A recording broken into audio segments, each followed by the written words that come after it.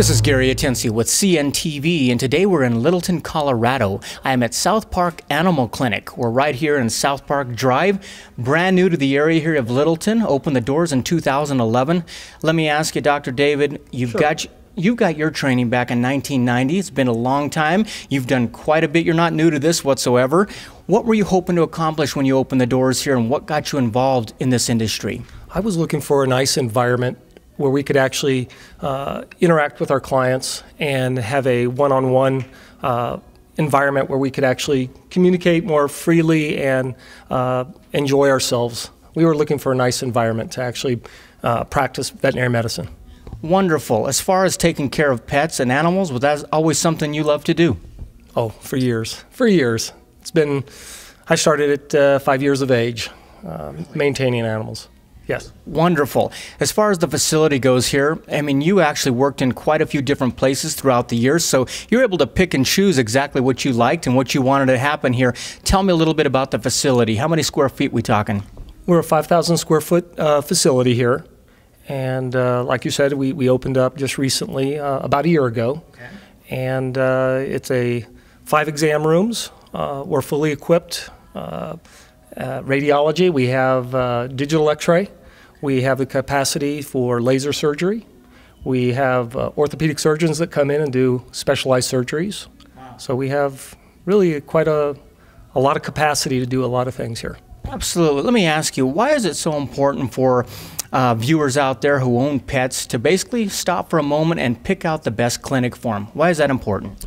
They need to be comfortable where they're going. That's the bottom line. Uh, there's there's just an open communication. When you find an individual that you can communicate with, uh, I find that the medicine is, is much easier for everybody involved. The pet, the pet owner, the veterinarian, everybody can uh, to, work together as a team.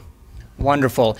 Let me ask you, let's start off first of all with a healthy pet. I mean, are, are pets like humans? And basically, if we do a little bit preventive maintenance, will that basically take care of us down the road? Is How important are wellness, um, wellness checkups? Very important. Uh, you're, you hit it on the head. Uh, animals experience the same problems that uh, humans do. Uh, everything from diabetes, seizures, the whole gamut of, of problems that we see in human medicine, you see it in animals as well. But you're exactly right.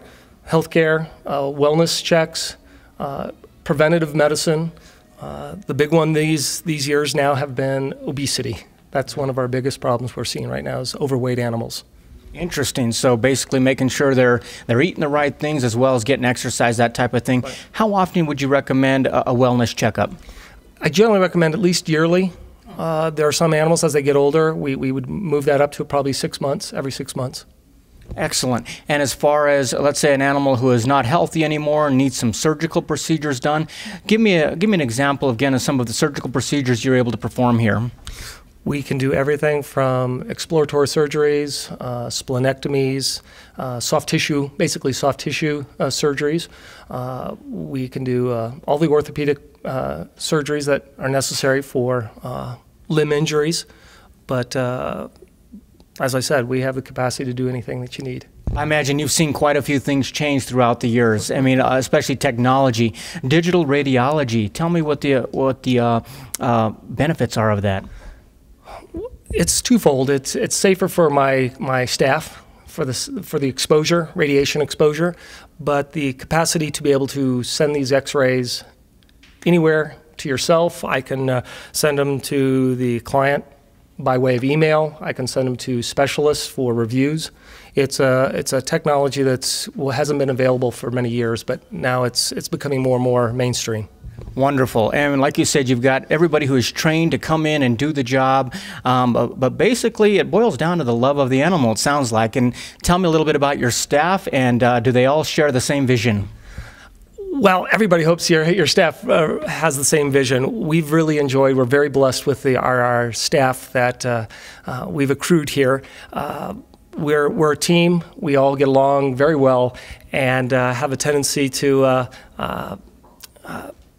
Uh, we our front staff is our at the front desk here is is is is, is an awesome part of our our staff. Um, they are the first line of defense in the sense of they are the ones that first meet the clientele base and and uh, encourage them to come in, and we actually um, foster that behavior in, in the back as well with our technicians. So our technicians actually visit with the clients initially uh, on our exams to get us a, uh, a, preliminary review, and then myself comes in and we. Wonderful. So, like you said, it all boils down to the relationship. You're definitely building a relationship here with with the patient as well as um, with the patient's owner exactly. as well.